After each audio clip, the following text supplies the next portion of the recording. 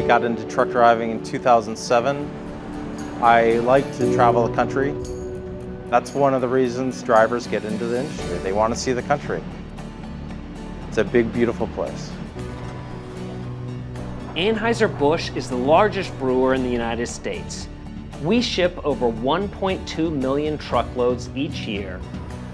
We are always looking for new innovations in technology. Otto's trucks are the next area of transportation innovation. The driver would still be involved with the pickup, loading the freight, making sure it's secure in the back of the vehicle. And then once you're on the interstate, one switch and it's driving itself down the road.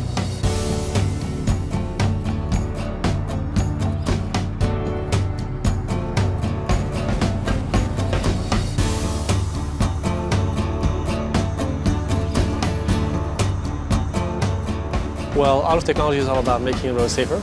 It's like a train on, on software rails. And so when you will see a vehicle driving with nobody in it, you'll know that it's very unlikely to get in a collision. I proclaimed to one of the technicians, I said, I don't think I could have done that better myself. Uh, that was an interesting moment.